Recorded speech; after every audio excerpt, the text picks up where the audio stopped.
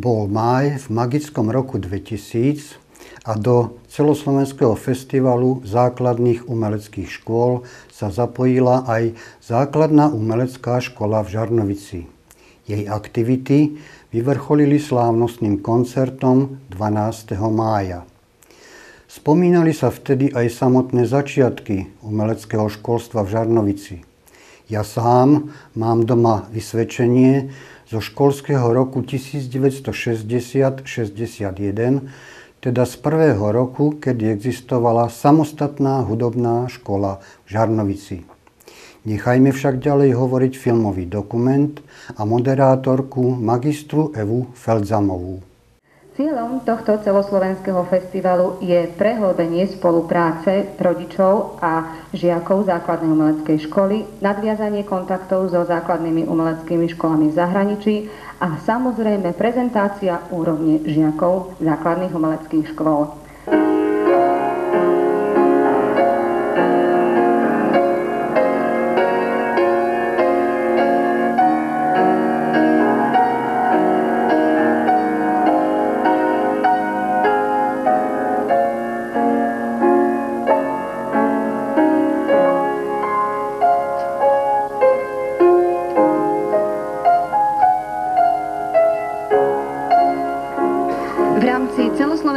Festivalu vyvíjala aj naša základná umelecká škola rôzne aktivity. Poriadala výchovné koncerty pre žiakov základných škôl 1. a 2. stupňa, ktoré sa konali tento týždeň v útorok a v stredu. Vo štvrtok si mohli žiaci výtvarného odboru vyskúšať prácu na hrnčiarskom kruhu, no a do tajomstva hrnčiarského remesla ich zasvedcoval pán Fiala z Brehov. No a vyvrcholením celého týždňa je dnešný slávnostný koncert, ktorý riaditeľstvo základnej umeleckej školy spojilo aj s oslavou 40. výročia založenia tejto hudobnej meky v našom meste.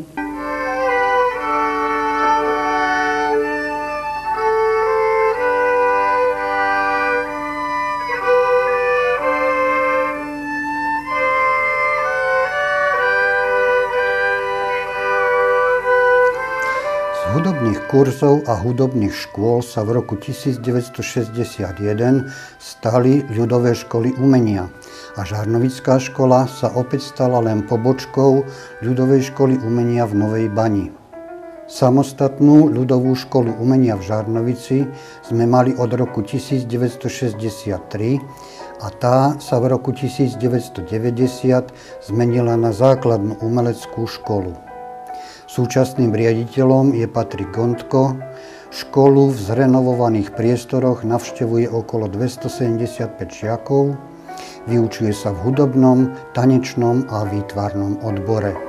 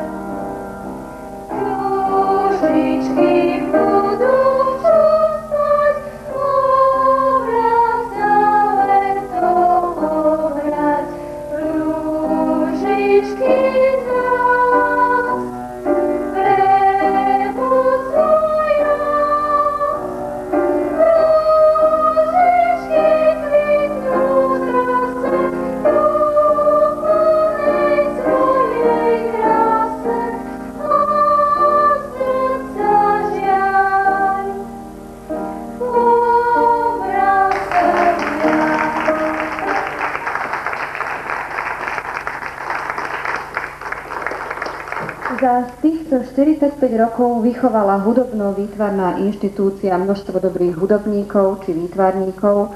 Mnohí z nich pokračovali na štúdiu na konzervatóriu v Bratislave či v Žiline. To všetko je však zásluhou vás, milí naši učitelia. Vás, ktorí ste od úplných začiatkov nám štepovali svoju lásku k hudbe, k umeniu. Ďakujeme vám za vašu trpezlivosť, ktorú ešte po rokoch tak veľmi obdivujeme. Množstvo skvelých osobností nás naučili, že hudba to nie je len hodinka po obede strávená pri klavíri, za harmonikou či za flautou, že je to oveľa viac. Ale to sme dokázali pochopiť až teraz.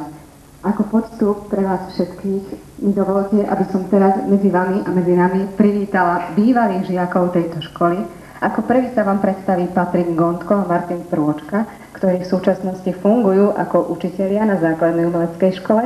Predstavia sa vám so svojou skladbou od Gastoldondyho, prepáčte, muzika Proibita. Ďalej vám zaspieva pieseň Andrea Škarbová od Skarla, Skarlatyho O Česáte di Piagarmi a od Antónia Kaldara Seben Krudele. Klavír bude mať pani Olga Glezgová, no a na záver ich vystúpenia sa vám predstaví opäť Patrik Gondko a Martin Prôčka e, so skladbou od Giuseppe Verdiho z pochodu Aida.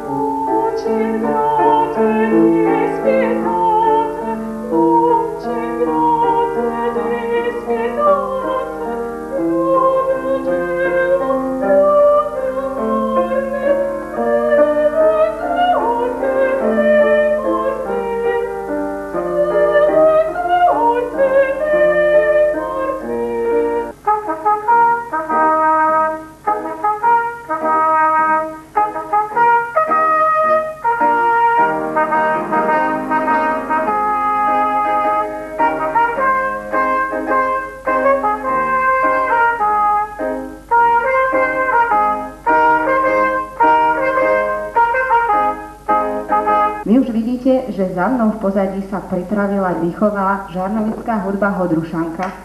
A ja vám prezradím, že kapelník pán Lubo Káčer je takisto odchovancom základnej umeleckej školy. Nech sa páči.